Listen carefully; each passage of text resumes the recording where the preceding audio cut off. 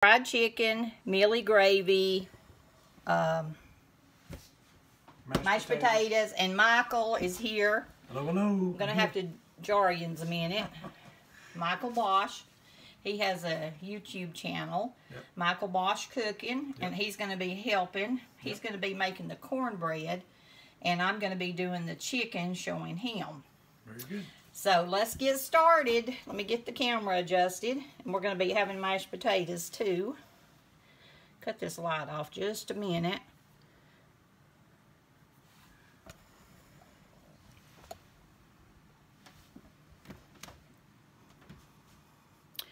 Okay, can you all see that okay? I'm going to put the light on. How does that look to y'all?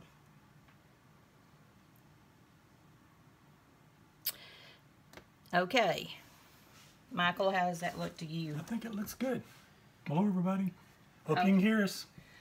Yeah. Okay, All right. here we go. Do we want to start with the potatoes first and get those peeled, and or that's going to be the least thing that's going to take to cook? Or do you want to put the chicken? Let me put the chicken on, Okay. and then we'll do the potatoes. Sounds good. Because it takes the chicken longer, and we can cut the potatoes in small pieces. Yeah. Okay, I've got a whole chicken here, and I'm going to uh, salt and pepper it with house seasoning. This is onion powder, pepper, garlic, and onion powder. Yeah. So I'm going to do that first.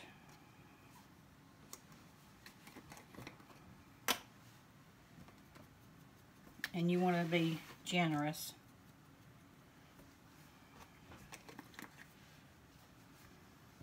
And I wasn't going to use my trusty bag, but I think I'm going to.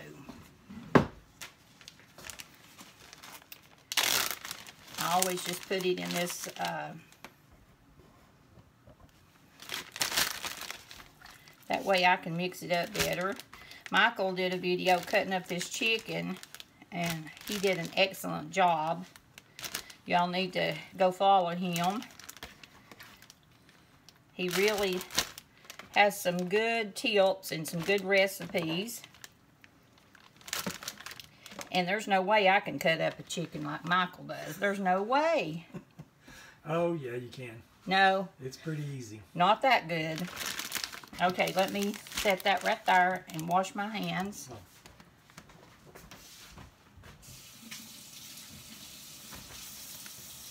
Always have to wash your hands good when you're messing with chicken. Yep, because that uh, can spread salmonella and get all over the kitchen before you know it. Yep, we always do, we're real careful about that. Mixing up some Clorox water here. Okie dokie.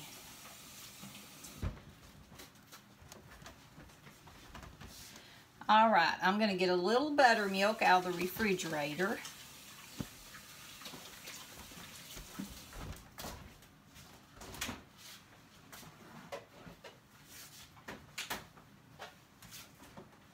You know, we use buttermilk on about everything. Now this is, uh, we're making mealy gravy.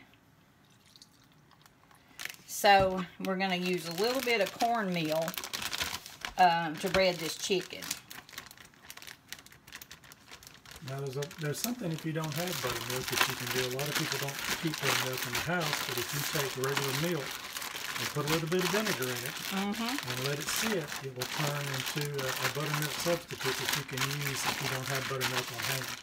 That's right. Or lemon juice. Anything Yeah. that's got a, an acidic uh, base to it, that's what you can put in your milk, your whole milk, to make uh, buttermilk. So you can substitute, uh, like I say, vinegar or lemon juice and make uh, buttermilk. Just let it sit for five or ten minutes and it'll be the same thing. Yeah, that's a good tip. I've done that before Yeah. with vinegar. Okay, I've got salt, pepper, buttermilk on here. So now I'm going to put probably, and this is a whole chicken, so I'm probably going to just use about a half a cup a meal, and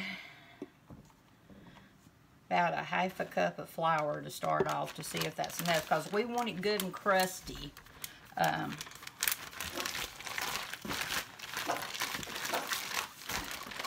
and um, this chicken was a free range. It was free range. It was non-GMO, and it was about six pounds. Is what that one was today. Yeah, and it was ten dollars. So that you can feed a family of six with a chicken like this. Yeah, I think we got about. I cut the breast into. Uh, did I cut it into four pieces? I can't remember if I just Four. cut one. So there's probably ten pieces of chicken in that. That we cut that chicken Yeah. up that way. You So got that'll feed a family. Yeah. Okay, I'm going to put some more cornmeal.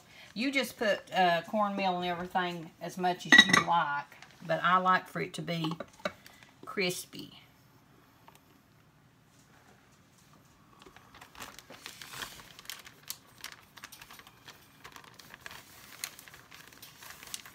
Michael, if you want to go ahead and peel the potatoes.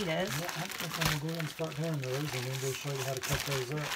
And Yeah. Get those put on the stove as we cook them. Yeah. And those will take about 15 minutes to cook. On those, so we can get those mashed up. I'm just uh, rolling this chicken good. See it? All right, now I'm going to put, I'm going to have to turn my camera around a little bit. I'm trying to figure out a way, but it's so hard to show the stove. I'm just going to show you the stove over there a little. And um, show you that I'm putting oil in the pan, what kind of oil. Now you can use vegetable oil or Wesson oil, lard. I've got this uh, canola oil that I got from Sam's because it was cheaper than the other ones and it's just as good and it'll fry at a higher temperature. Yeah, you want to check your oils too when you get those. That the the flash point on those, you don't want to get it. Use the oil that's going to have a lower temperature cooking on it. It'll burn because Yeah, that's true. as you're cooking it for a long time, you're frying it. You want something that's going to have a high temperature point on it. So like like JoAnn said, some type of a neutral uh, vegetable oil is perfect. Yeah. Okay, so I have put about, um, not hardly an inch of oil in the pan. I hope you can see that. Uh, now I'm going to turn my pan on. And I want my pan to sizzle when I put my chicken in.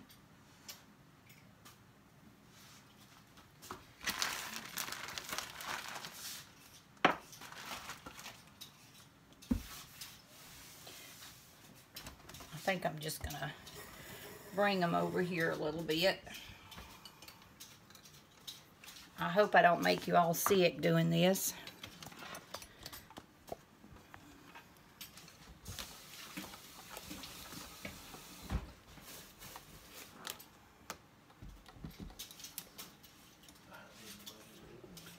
Okay, can you all see the pan?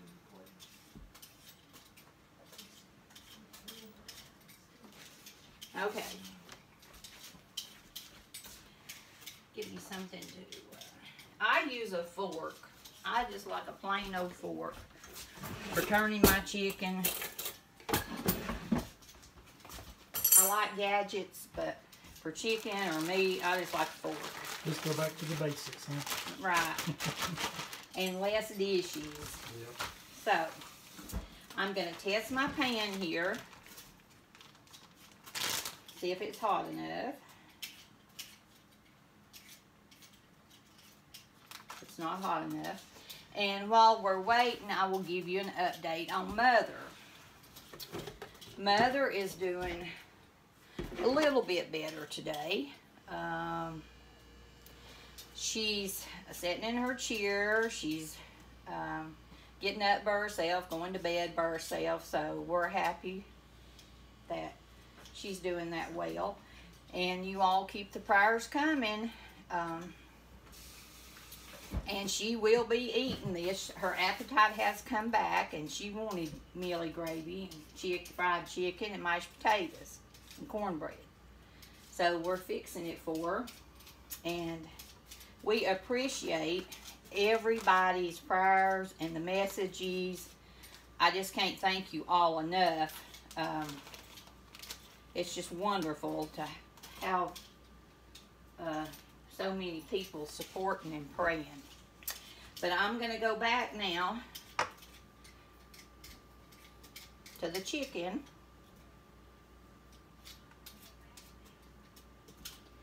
And see how that's pan's coming.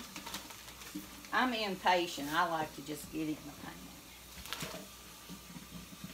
Not hardly hot enough. Now you want to fry your chicken until it's good and done. Um, just take your time with it. Let it cook about 45 minutes to an hour. And if you'll listen to your chicken, you can tell by the sound of the oil. And I've told somebody that one time and they just kind of laughed at me, but he's saying that I was telling the truth. When the chicken gets ready to turn, the sound of it frying uh, sounds different. So Well, you'll have to point that out. I will. I have never heard that before. I will. Okay, we're gonna put this in. Then we're gonna turn it over to Michael. He's gonna make cornbread and mashed potatoes and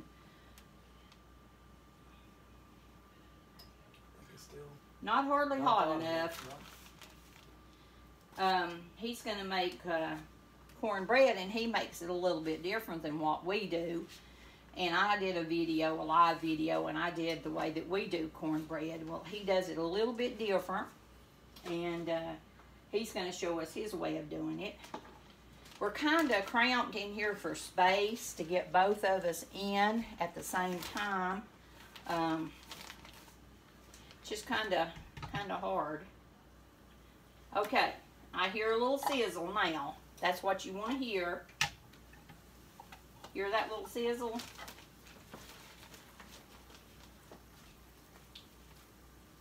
And when you're frying chicken for gravy, you want to have your fat on there. You want the fat on there because that's going to make good grease that makes good gravy.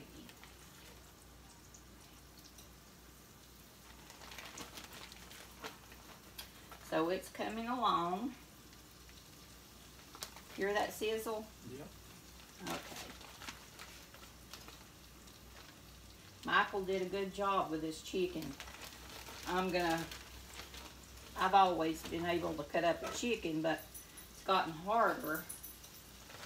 Um, as I'm getting older. Cutting it up, I don't know, everything gets harder when you get older.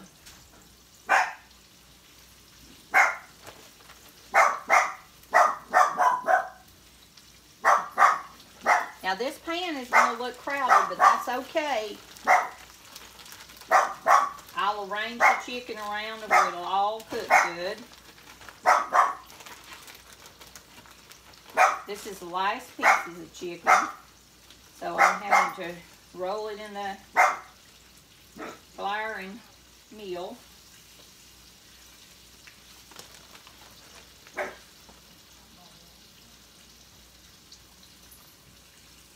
You can crowd it a little because it'll cook down some.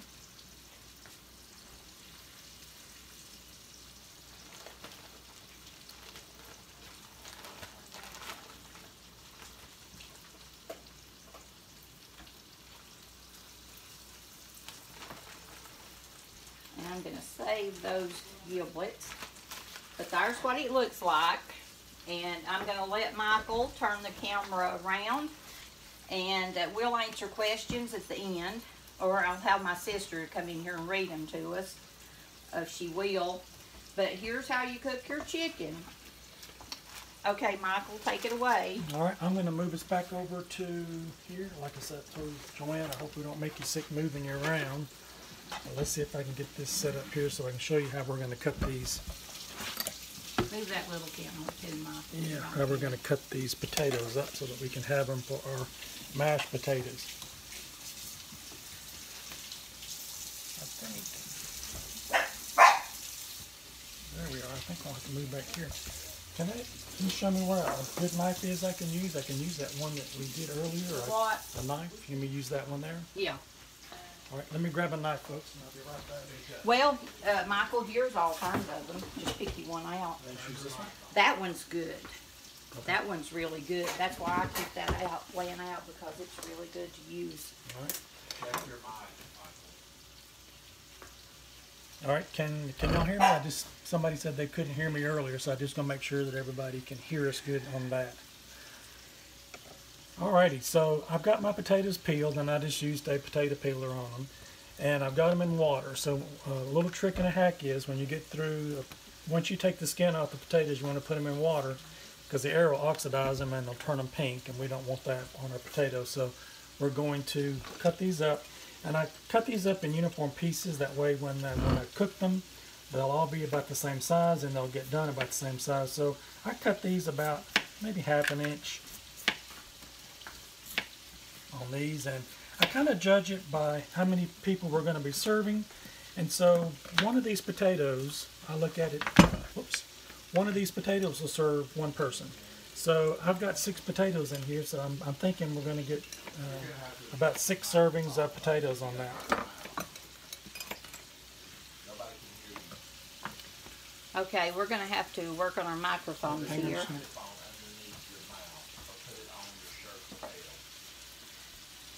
We're having to adjust our microphone, so just bear with us.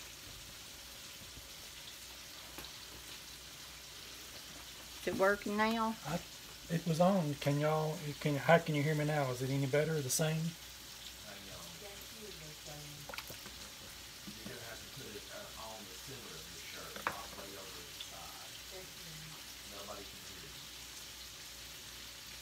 All right, let me try something else. Let me take this thing off. Do you wanna try my microphone? Can you hear me? Yeah.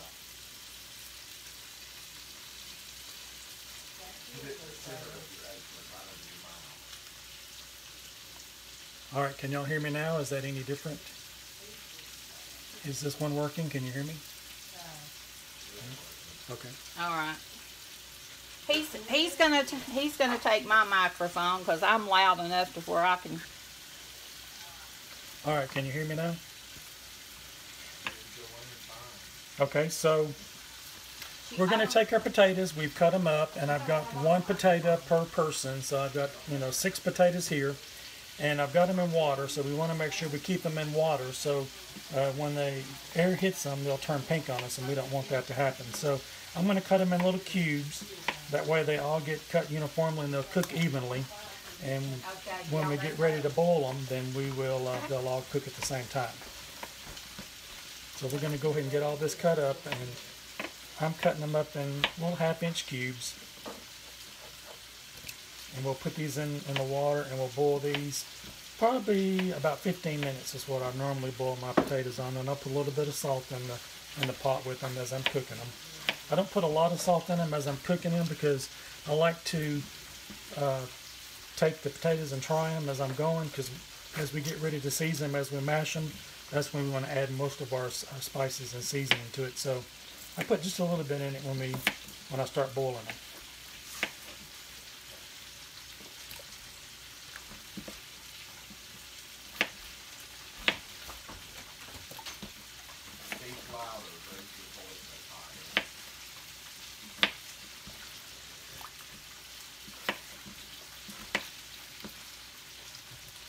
All right, so I've got a couple more here. I've got a total of six that I'm going to cut up.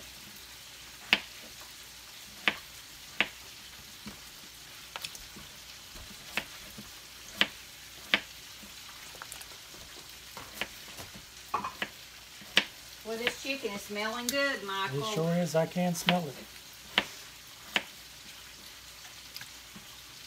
Let's see how many more I got here. I think I got maybe two more.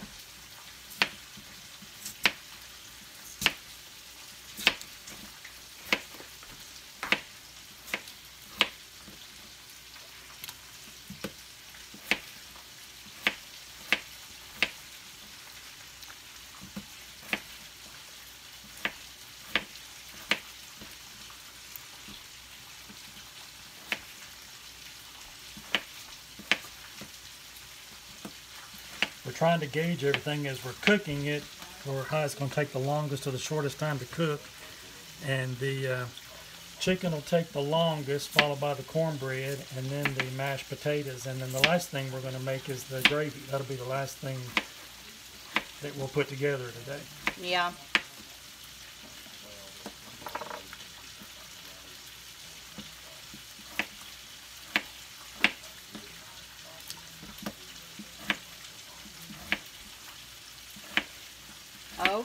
He's almost got Almost the. done.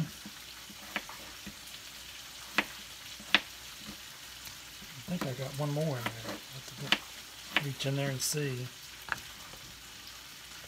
There's always more. one left. One Michael. hiding, ain't it? Ain't it?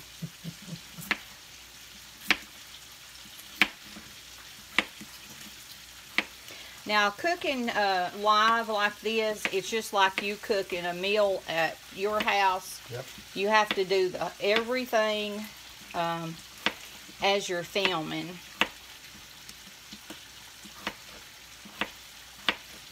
All right, I believe that's everything. I'm going to give these a little bit of rinse and wash some of that starch off of these. And then we're going to put them in a in a pan that we got on the stove with a little bit of salt. All right. I'm going to rinse these off and I'll turn it back over to you if you want to show them what the chicken Yeah. looks like. Chicken is smelling delicious. Smells so good. Let me just get this board up here. We'll Get that rinsed off. I like to clean up as I go. I like And- I'm sure everybody else does if they have time. Sometimes you, you don't have time and you just have to do the cleanup at the end. But let me get over here. We're going to use that buttermilk. So I'm just going to let it sit there. Okay, I'm going to move you over here and show you the chicken.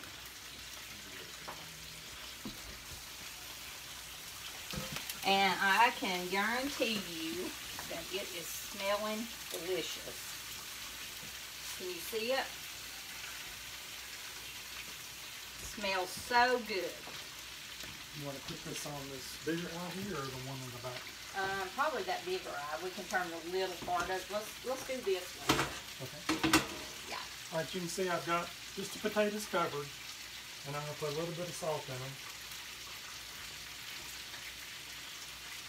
We're gonna bring those up to a boil. Like I said, we'll cook those about 15 minutes. We want them to get tender so we can mash them a little bit. Yeah. Okay. Here's the chicken. See, it's not brown enough to turn and it's not making that noise.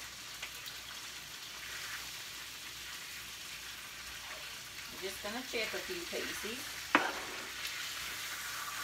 See, that one's getting a little bit brown, if you can see that.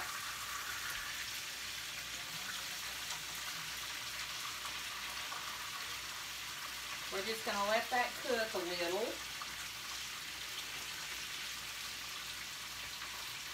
And should we go ahead and Mix up the cornbread. You want to? mix up the cornbread? Yep. Do Michael is gonna mix up the cornbread. He is going to mix up the cornbread. He does it a little bit different than what we do, but I'm sure it's delicious.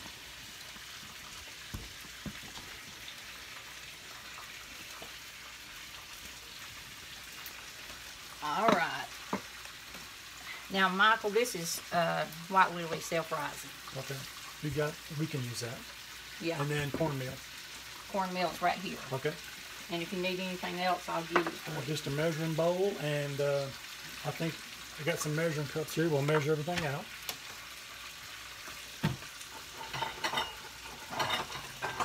Let me get that. I'll have to get my gravy bowl out of here. Is this one bigger? Yeah. I don't think I need that one. This this will be okay, I think. For me.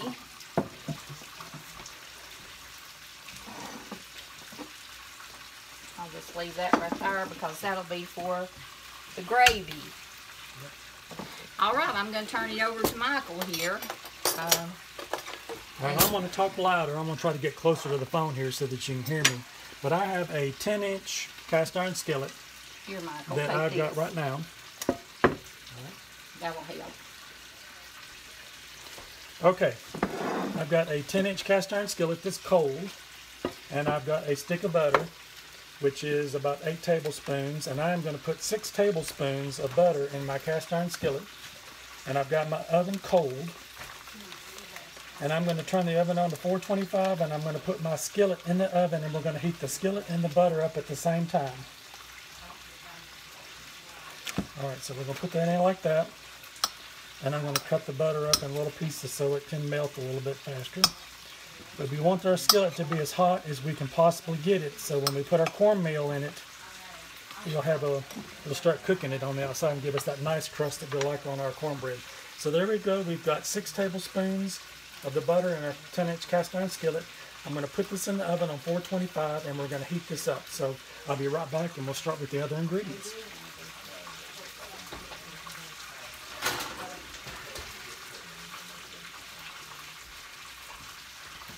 All right, JoAnn, need to turn oven. Yeah. And in case you all have just joined, we are cooking fried chicken, mealy gravy, cornbread, and um, mashed potatoes. And Michael is my brother's friend and our family friend and his business partner in crime for a long time. But um, Michael Bosch, you can find him, Michael Bosch Cooking, on YouTube. And we're so happy to have him here because his recipes are great. And uh, we will be cooking again tomorrow. We're not sure about the time yet, but we will be doing another cooking show tomorrow, probably live. And uh, we'll let you know the time. Okay, Michael. Alrighty, so we've got our cast iron skillet now in our oven, and our oven's heating up to 425. And we're going to go ahead with our ingredients for our cornbread. So uh, we're going to start with uh, one cup of our self-rising flour. If you've got all-purpose flour, you can use that. That's what I normally use, but all-purpose uh, self-rising does the same effect to it. So let me get a cup of this flour out. All right, so we've got a cup of flour here. And I've got a cup of self-rising cornmeal.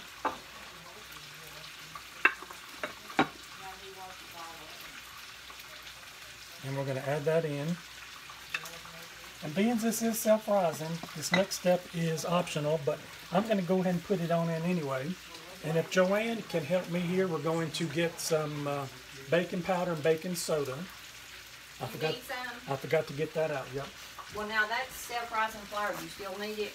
Um, no, I guess I, we don't have to put that in there. I'll just go ahead and tell them if you don't have the self-rising flour and the self-rising cornmeal uh, for this recipe, then if you just had all-purpose flour and just regular cornmeal, then use one and a half teaspoons of baking powder and a half a teaspoon of baking soda and a quarter teaspoon of salt, and that will do the same thing as the self-rising. It never hurts if you wanted to put that in there anyway. You can put that on top of it. It really doesn't uh, detract from it, but that's how you turn uh, regular flour and regular cornmeal into uh, a self-rising uh, for this recipe. So it's one cup of self-rising flour and one cup of self-rising cornmeal that we've got here. And let me get something to mix that up with. Let me get a spoon. All right, we're just going to give that a good mix through. That's our dry ingredients that we're going to have here. And I need to get another bowl because I'm going to put some eggs and some buttermilk in there and we're going to mix that together. Right there. And let me get you a whisk. I think I've got a small one over here. Need to put that back.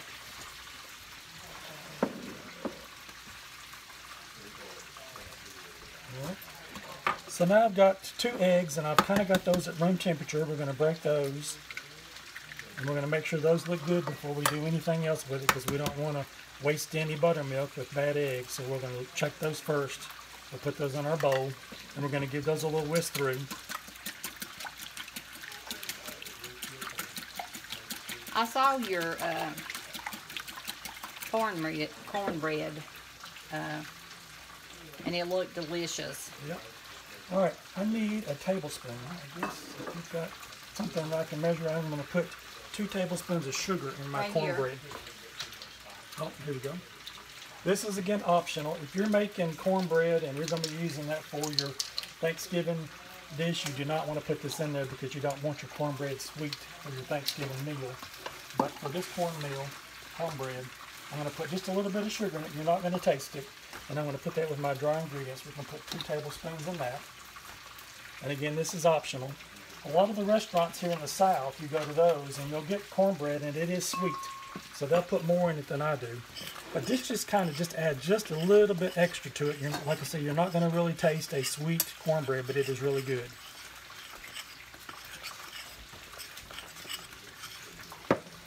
All right, now we're going to put in a cup and a half of buttermilk.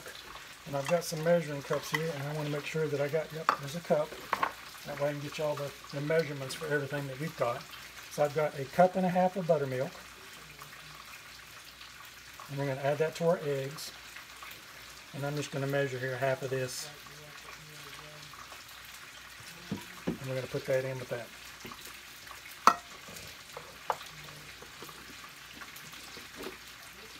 Alrighty, let's give that a mix together.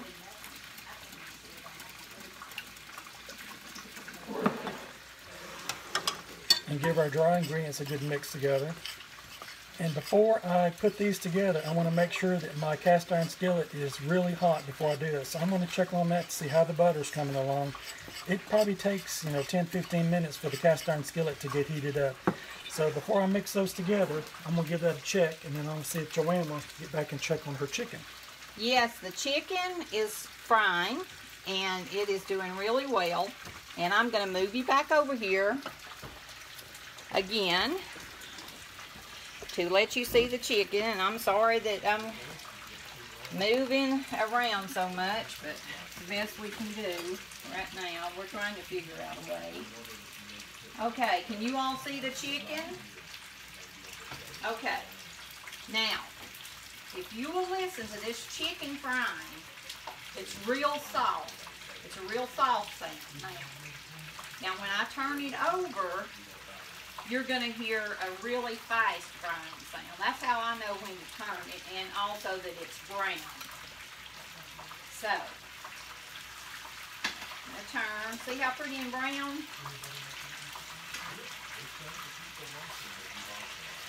See, listen how fast. Can you hear that?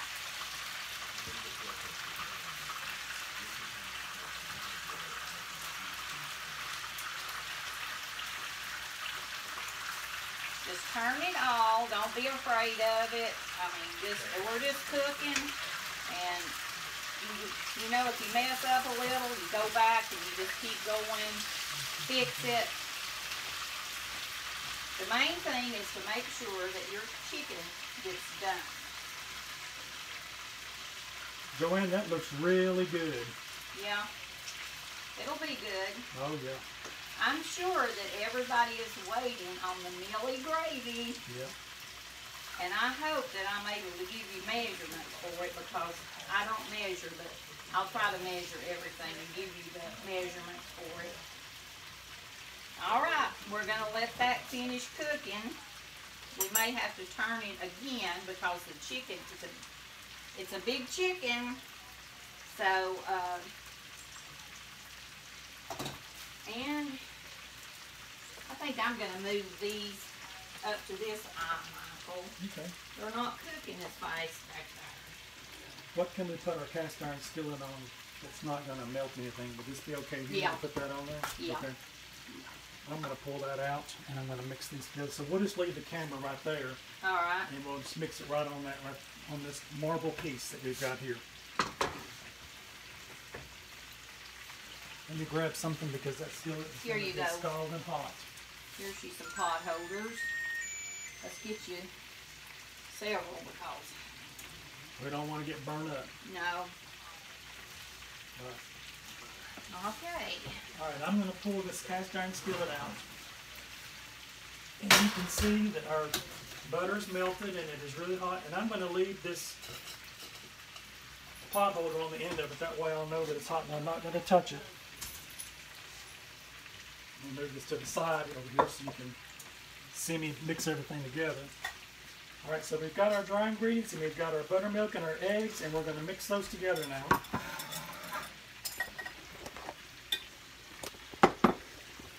And let's give that a good mix through. And again, this is how I make my cornbread on my channel. I know that JoAnn said that she does hers a little different, but this is how I make my cornbread. And you just want to get this all mixed together. And I'll show you the consistency. It's okay if it's got a few lumps in it, it'll cook out. You don't want it really lumpy, but it will have, you know, just a few lumps in it. We're not making pancake syrup here, I mean pancake batter, but uh, there'll be a few in it. And we'll give that a good mix through here. What have you got the oven set on? Oven set on 425, Four twenty-five. Yep. And how long do you cook your cornbread? uh, 20 to 25 minutes. All right, that's what we're looking at there. So that's the consistency that we've got with our cornbread. All right, now I'm going to grab these handles because I don't want to get burned with this. And we're going to put in our batter. And you'll hear it sizzle if the butter's hot enough. It's, it's getting our cooking for our cornbread.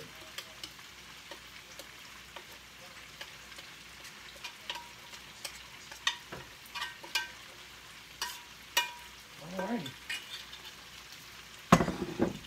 There we go. We're going to put this in the oven now and we'll put it in there for 20 to 25 minutes. We want it to come out a golden brown.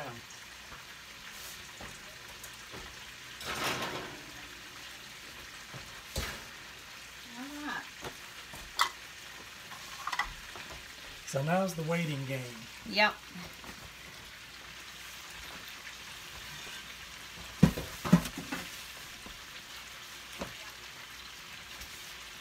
Okay, we're gonna clean up over here for a minute.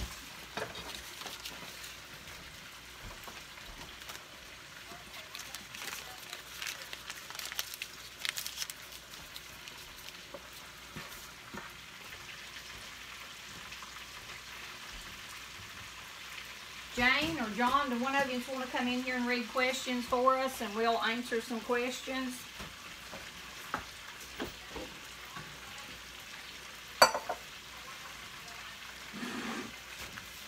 Deborah says good afternoon from Louisiana. Oh, hi, Louisiana. Trey Hall says hello and he's praying for Mother. Oh, thank you, Trey. Terry Pickett is, uh, watching and wants to learn how to fry chicken. Frying chicken is easy as can be. All you got to do is batter it up good, put it in oil, and uh, we're getting an echo back there.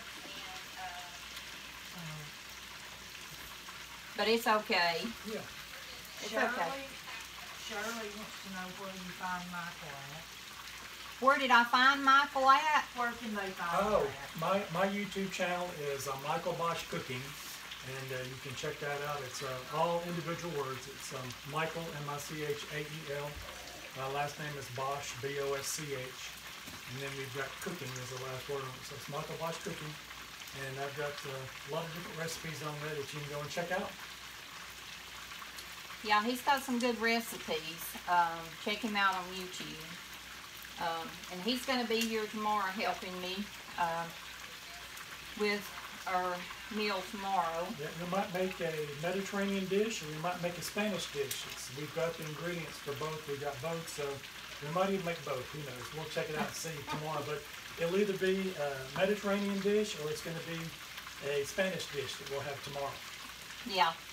So we're going to eat good while Michael's here. And I think tomorrow we're going to have, I know we're going to have a baked chicken because I got a chicken out of the freezer to cook this morning and it didn't even start to thaw by the time we were ready to almost make the video. So Michael went to Ingles and got us another chicken. So that chicken will be thawed by tomorrow and we're going to bake a chicken, Michael. We'll bake a chicken tomorrow and uh, we can have a, uh, a Greek salad or we can add some, uh, we, yeah, we might do that too. We could make the, the Spanish beans that I could make and the Greek salad and have the baked chicken and just have a little bit from uh, different parts around the world. We can have a baked chicken from the south here, and the Spanish beans. We can make those, and we can have our Mediterranean salad on the side. So maybe that's what we'll do tomorrow. We just do a little bit of everything. Yeah, and that salad, it looks so delicious. It's really good. The dressing on that, you can use that uh, for any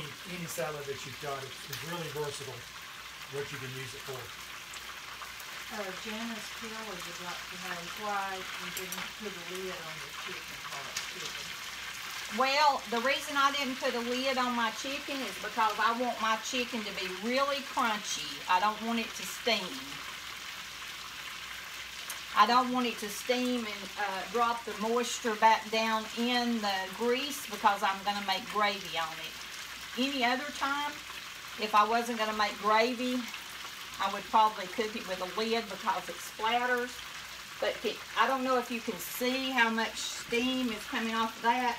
See here? I, you probably can't see it, but it's really uh, getting rid of a lot of the moisture. So that's why I do not put a lid on when I'm making gravy. Linda says hello from South Amherst, Ohio. Hello from Ohio, Linda. And Susan Hughes Stratton says, welcome Michael, watching from Kentucky. What kind of foods does Michael cook on his videos? Well, a lot of the cook, uh, a lot of the videos that I've got online are. Uh, I do a lot of international foods. I have a Spanish heritage, and so there's a lot of the dishes that I have on there that are uh, from Puerto Rico that I have on my dishes. I did. Uh, I was raised here in the South, so I know how to cook Southern comfort food, and if it's not fried, it's not Southern. So we definitely have a lot of uh, Southern uh, cooking on my channel also. And I've got some desserts. I do a lot of desserts. I make cheesecakes and uh, uh, just just a, just a variety of different things. So it's not any one specific style of food that I cook. I just kind of cook it all. Yeah, Michael's gonna have to make some of his desserts and bagels, and he makes homemade bread Yeah. and um, all kinds of gooey, delicious stuff. But- Okay, uh, Yeah, hummus. I make hummus. That's uh, Yeah. one of my favorite things that I love to make. And a lot of the dishes and things that I make, I'll give you a vegan variant to it. So if you're on a vegan diet or a vegetarian diet, I'll give you a ways how you can take a, a normal dish and turn it vegetarian or vegan. And uh, so we do those. And I make condiments. I've got one of my videos on there where I make mayonnaise. So if you ever run out of mayonnaise at the house, you can make it. Because I'm sure you've got an egg and some oil and some salt in your cabinet. And uh, a hand mixer, you can make mayonnaise at home. You don't have to go to the store and buy any. But here in the South, we use Dukes, and I think JoAnn's got Dukes. And Oh, we used some yeah. Dukes in our video yesterday.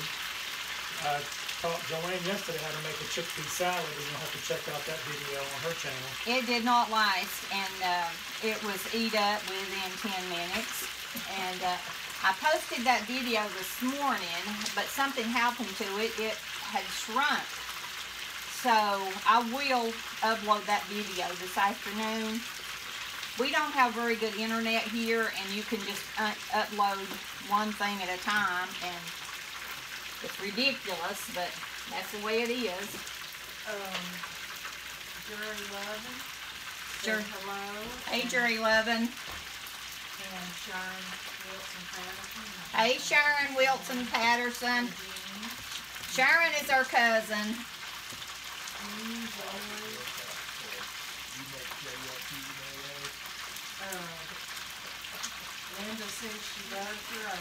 Oh, thank you, Linda. No, we don't make JFG mayonnaise, Roger Millsouts. Um, but we, What is JFG? What is that? That's what, some kind of mayonnaise Roger Lee Millsouts eats. Oh. Is that like, uh, there's, there's certain mayonnaise, it's the salad dressings. Maybe it's a salad dressing and not a mayonnaise. It Maybe could that's what be. JFG is.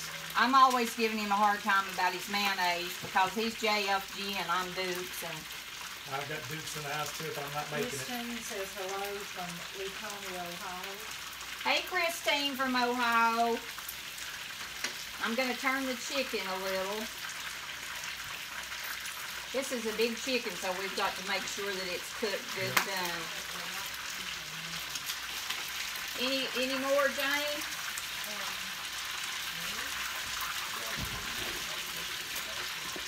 I'm gonna grab a fork so I can test the potatoes. I can't hear because this chicken is frying. It's loud. Nancy is new to the kitchen, she says hello, if she's keeping in her fire. Who? Penny, Penny Nancy. Yancey. Penny Yancey. Penny Yancey, thank you so much. And thank you for watching us. Um, we love to have new viewers. And uh, I think I'll give you a little history, the reason why that I started with.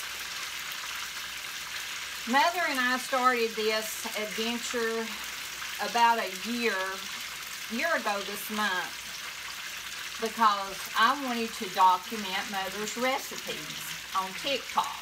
That's where I started. And um, then we moved recently to Facebook here to do our uh, recipes. But it was to have a diary, a video diary for all the grandkids and everything in the future. So that's why we started this. And uh, we're hoping that Mother gets better and able to come in and join us in the kitchen uh, at least uh, part of the time. And um, but yeah, we just wanted to document our recipes. We didn't have any idea that it would be um, as popular as it's been, but we want to keep we want to keep it going because we live in the Smoky Mountains here, Appalachians, and uh, the our language, the way we speak and talk, it's a dying language, and uh, there's not many people around that still talk the way that we do. And I want to keep that alive because the way that we talk, the way that I talk on here to you all, that's the way I talk all the time. I'm just country to the bone. You can ask anybody that knows me. I'm just plain country. So, There's nothing wrong with that. no. No, there's not. And we have a lot of old sayings and the way of cooking and eating and stuff that's, uh, I guess it's different than a lot of people. We cook things maybe just a little bit different than some of the southerners do, but it's, it's the way we were raised up in the country. We survived, you know, on raising gardens and, um, having a hog to kill and Daddy used to hunt, get squirrels and rabbits, and so the way that I was raised. And I want, I don't want that to die out. And a lot of people, you know, like my my daughter and my grandkids, they've all went off to college, and you know they don't talk this way. Because they don't, they educate you in college, but they, they don't want you to talk like what we do, so. But that's why we started. It's not gonna be long now until I'm gonna be able to make the mealy gravy. The chicken, let me show you the chicken.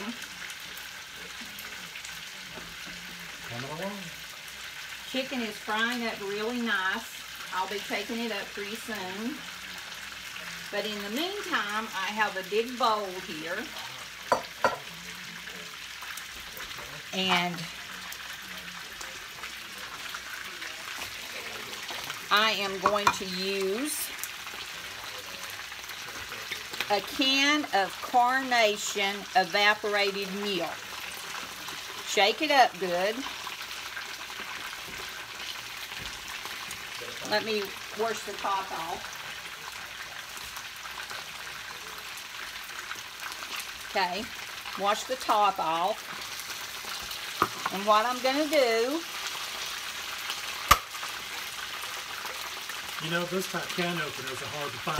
I have, I've That's broken true. one, and you can't find them like that anymore. I know. But anyway, I'm going to pour this in my bowl.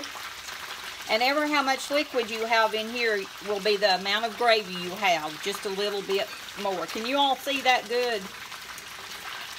Jane, can you see it? The gravy I'm fixing. Okay, now I'm going to fill this can up with water.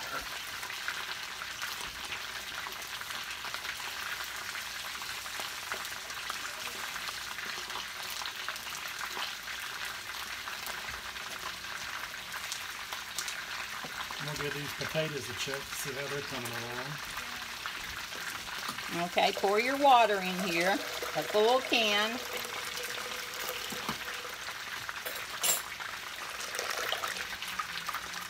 Okay, that's going to be your gravy. Okay? You sit right for me, please. And I think that our chicken is getting close to being finished. Um,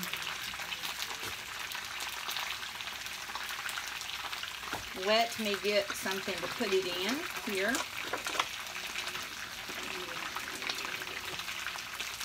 Sorry if I'm going to put the door in your face.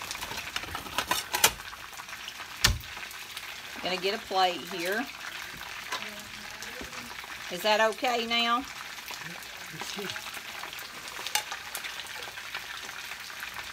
That's gonna get done before everything else is, it looks like. It's okay. We'll keep it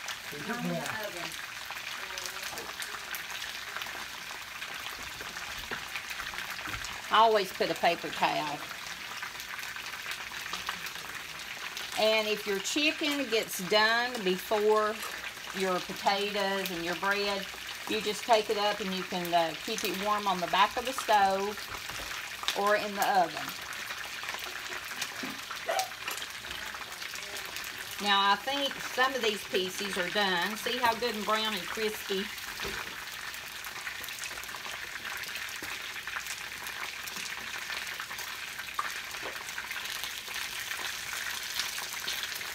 Move it around a little.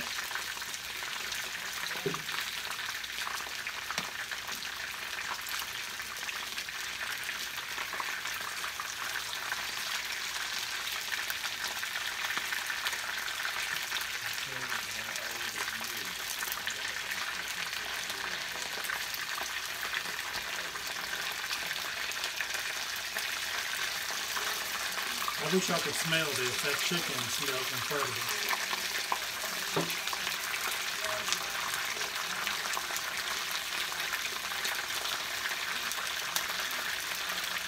See how crunchy that crust is?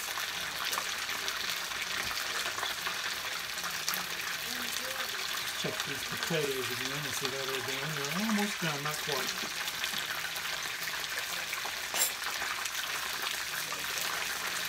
You can stick your fork down into your chicken. See how easy this goes in? That is done.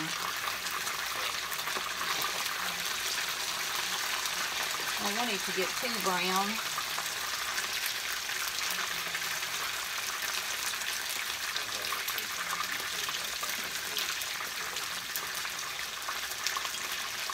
You can just turn it around any which way that you want to to get uh, the sides done and brown. See that part's not brown, so I'm going to stand it up so that it'll brown. This piece is ready to come out, Like that this time. and I think this is done.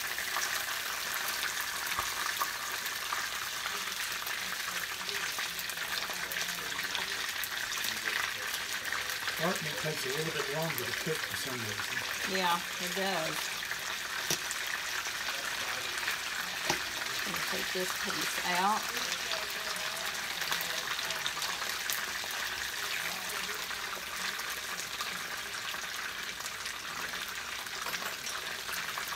Okay, I'm, I've took most of my chicken out. And I'm gonna cut the heat off for just a minute while the other stuff cooks.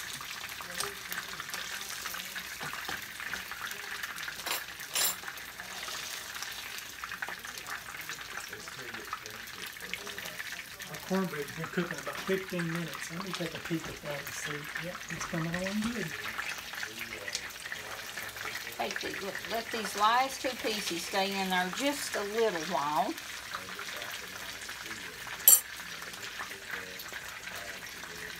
Now here's what our chicken looks like. It's good and crispy. And I can let it set uh, on the back of the stove. These two pieces are just a little bit thicker, so I'm going to, but they're tender. That's a breast, so it's cooked tender. Okay, I'm cutting this off. And that's too much grease, so I'm going to take some of that grease off when it cools down a little bit. So that's our fried chicken. And I wish that you could smell it.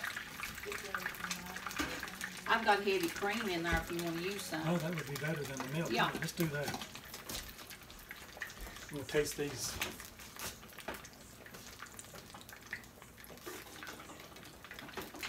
Yeah, this heavy cream needs to be used up.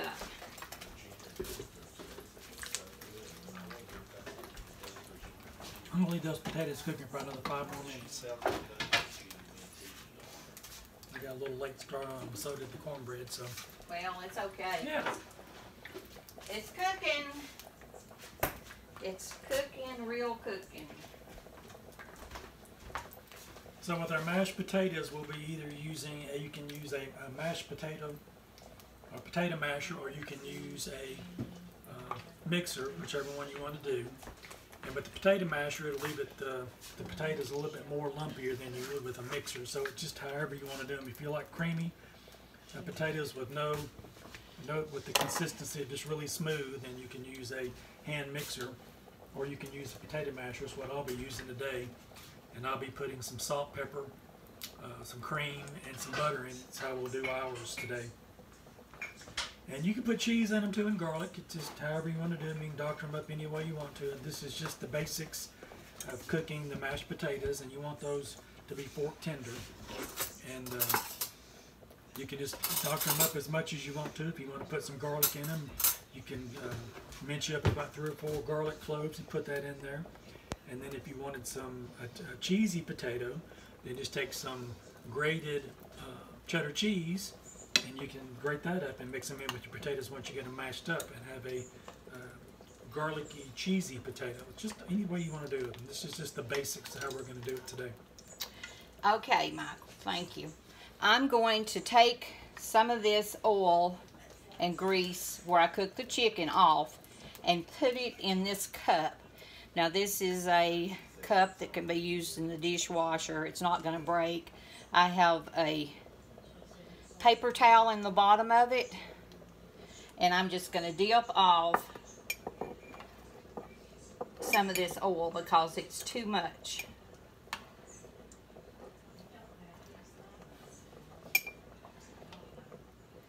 And I will try to show you once um,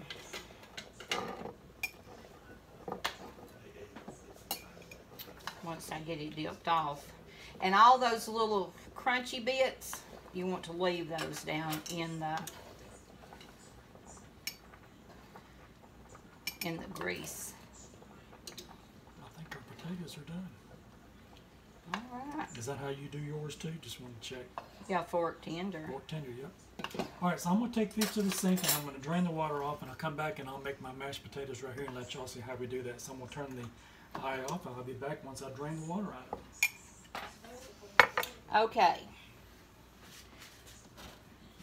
I'm gonna keep staying this mess here. Got to get this off.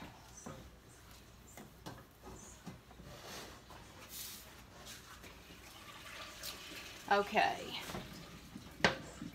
I'm gonna take a little bit more of that off. That just looks like too much.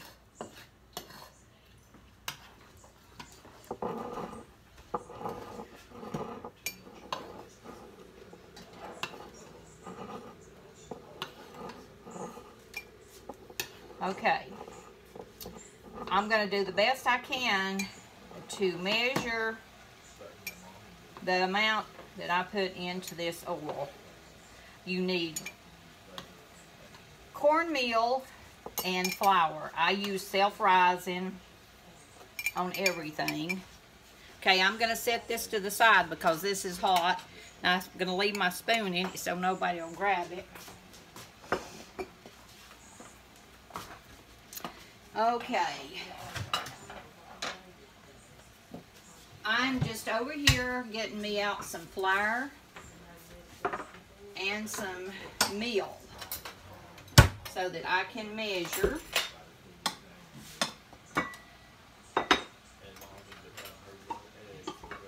Let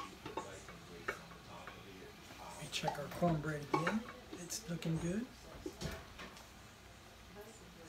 Let's see, maybe another five minutes. Let me pull it out so I can get a really good eyeball on it. Make sure. Oh yeah. I think that's done. That is done. You need a plate to No, turn yeah. it up on? Yep, I've got my cornbread out of the oven. You can see here it's got a nice brown crust on it. And I'm going to get JoAnn to hand me a plate and we'll turn it over and we'll put it out on the. Uh, I've got a Sorry, people. under here. It's okay. Gonna have to get a plate. I'm gonna grab another pot holder. Here, let me scoot enough. this out of the way. Alright. Alright, so we're gonna put our plate over our skillet. We'll turn it upside down. And there we are. We've got our cornbread. Got Oh, a nice goodness. brown crust on it. Look how good that looks, everyone. Can you see? Oh my goodness, it smells like nutty butter. Mmm. Okay, Michael, I'm going to set it right here. Alright? And we're ready to make the mashed potatoes too whenever we Yeah. want to do that. Um, just go ahead. Alright, so we've got our potatoes here and I'm gonna put a little bit of salt in them. And we're gonna put a little pepper in them. Speak up, Michael. Alright, we're gonna add some pepper to it. And then I've got two tablespoons of butter here. I'm gonna go ahead and put that in. I don't really measure anything, I just kinda eyeball it. And I've got another stick of butter here that I've had out coming close to room temperature. And we're gonna put another little bit in there with that. So I'm gonna cut another couple of tablespoons off. You can't never have enough butter in your potatoes. So we'll put those in like that. And then I'm gonna give them a little mash. Let me get me a pot holder. We're gonna smash our potatoes up and get that butter melted, and we'll take a look at it and see if we want to add any more butter to it, or add any more seasoning to it as you do. So we're gonna get that consistency of those mashed potatoes like that. And then I'm gonna take a little bit of that cream.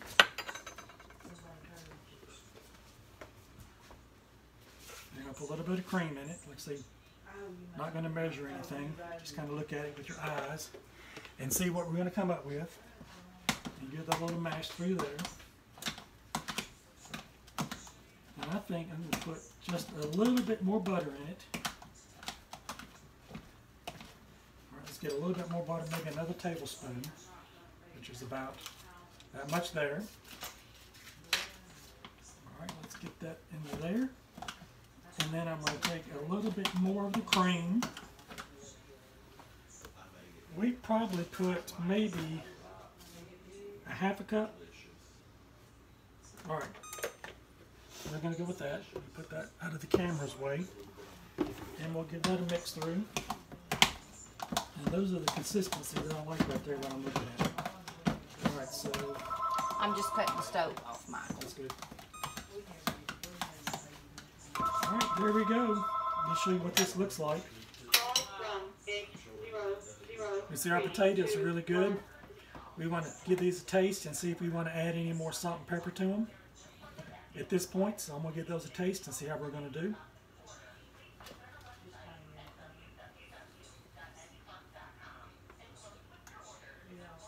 I think we need a little bit more salt and pepper. Right, so They look really good, Michael. yeah. Creamy. All right, so that's that's how you make your potatoes, and like I say, you just just taste it as you go to see if you need to add any more salt, and pepper, and the consistency you're looking for is that you don't, you know, like I say with this uh, potato masher we got, we it gives it a nice thick consistency. If you use a hand mixer, you can get it really, really fine with that. So that's where we're gonna leave that. I'm gonna put a little more pepper in it, and these are ready to go. And I'll turn it over to JoAnn, and we'll make our mealy gravy.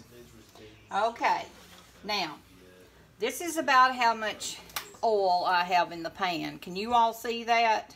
With the crumbles from the fried chicken. That's probably five tablespoonfuls, I'm going to guess. Okay. Now,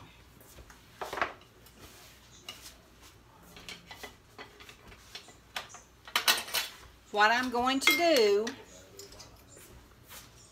can you all see? Okay. This is regular uh, white lily self-rising flour.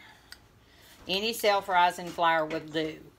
I've got a big tablespoon here, this size. And I'm going to put one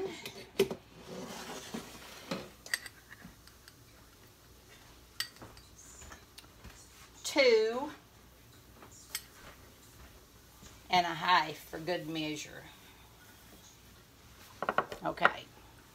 I've got my stove back on, uh, just medium right now until I get my flour and meal. Okay, with the cornmeal, I'm going to put one heaping in the pan. And another heaping and a half just because. Now, JoAnn, was this any kind of self-rising? Does it matter? If it, if yeah, it's self-rising. Okay. Okay, now what I'm doing is I am going to stir this and get this brown and nutty smelling. You don't want it to burn. You want to keep stirring it constantly. And I want to put some salt in it. Um, about that much.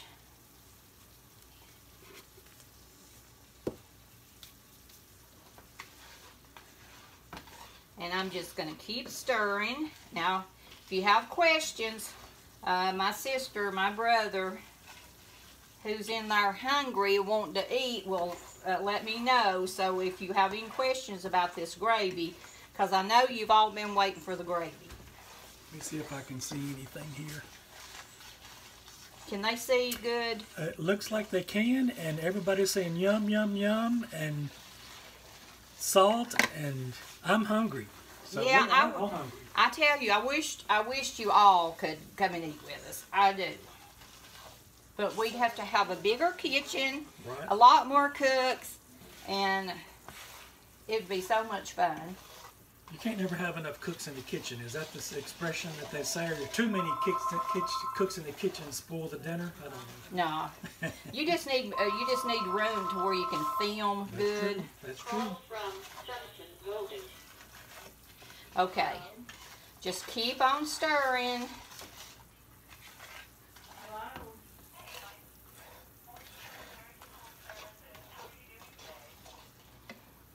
Okay. Just ask them. I'm going to put just a little more. Just ask them to call back, Mother, when I'm not busy.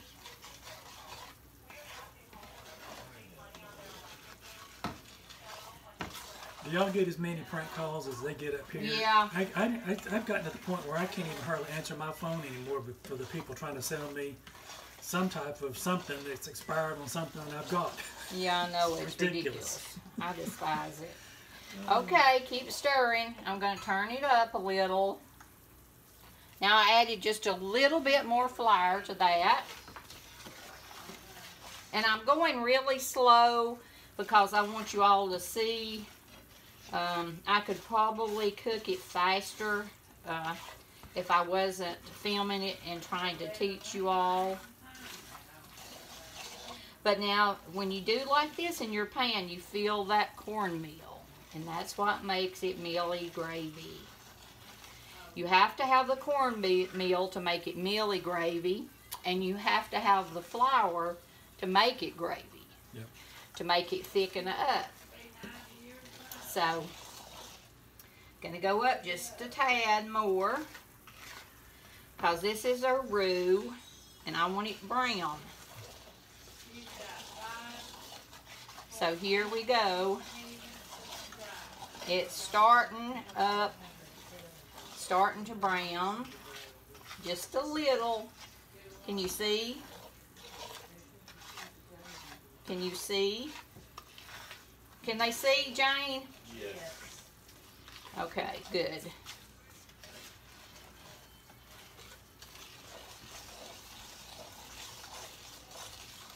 Okay, see how it's turning? It's getting a little brown. Now, see when I'm starting my spoon, see how it don't come together? It's separate. Okay, got to really watch at this point.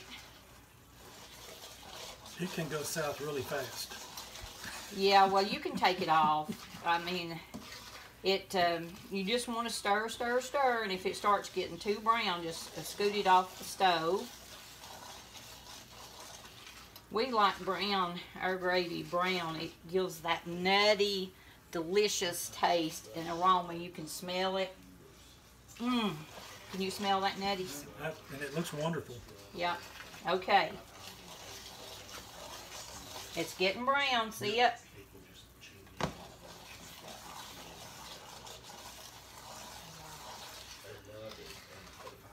I'm not going to take it much past this point um, because I'm teaching you all how to make it or trying to. Okay, here is my uh, milk or cream. Pour that in. Set that bowl aside. Now stir, stir, stir. Boy, that smells so That delicious. activated all of those flavors from that grease and everything. hmm Stir from the bottom. Get all that good stuff out of the bottom. You don't want that stuck on the bottom. You want that in your gravy. Now, at this point, uh, when your gravy starts boiling, if it's too thick, don't panic. You can put in a little bit of milk. But I, but I can't do that because I wouldn't get we want to stir it from the bottom good. wrench it out, make it work. starting to want to boil. And what we're going to do, we're going to let it boil for just a minute or two. Keep scraping around the bottom. Okay, look at that. Mmm, I wish you could smell this. It's boiling. Gonna let it boil just a little bit. And that's the perfect consistency for gravy. And that's really getting thick too. Mm-hmm. All right, I'm fixing to pour it up here. You got it? He said um, his father had a bunch of blood clots. And the little crunchies still in there.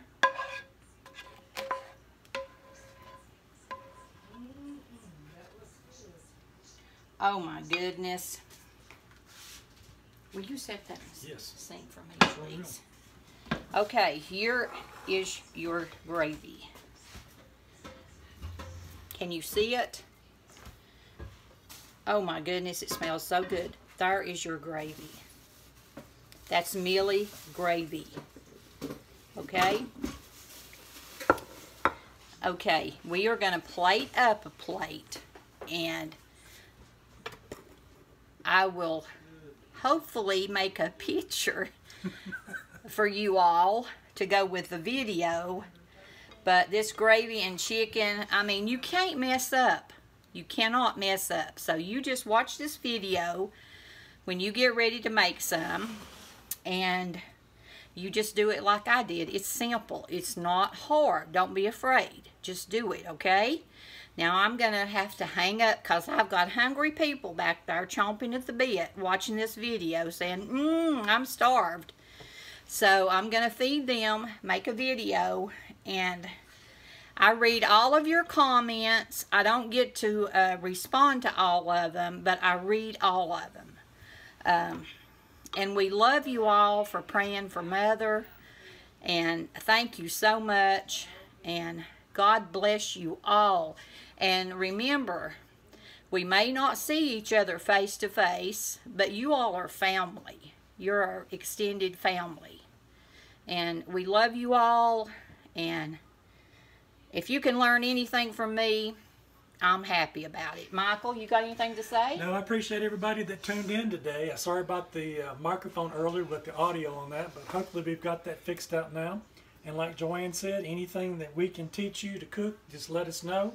Uh, if you can check out my channel, you can check out that at uh, Michael Bosch Cooking. And if there's anything you'd like for me to see to cook that you're interested in doing, and the same thing with JoAnn, if there's something that you're wanting to see her uh, prepare for y'all, uh, just put in the description box uh, whatever y'all would like, and we'll see if we can't put it together. And uh, and we appreciate y'all tuning in to us today, and uh, hope you try some of these dishes out that, that we made today. Okay, we will be on live tomorrow unless something happens with our internet. Our internet went flunky this morning for a little while, but it come back up. So I will post uh, and let you all know what time we're going live tomorrow.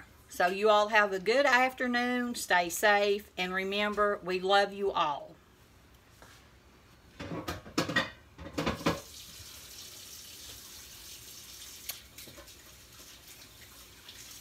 Lousy. Wow, somebody sent a big love your family, praying for your mother. Let's not die. There you go. She's gonna be. I wasn't off. It takes a minute. Well, I didn't do anything. No, you just went. No. Okay. They sent prayers to you. You can Mother edit Lot. that. Oh, I think that's That's live. Oh, Lord, me and my big, can I not stay quiet?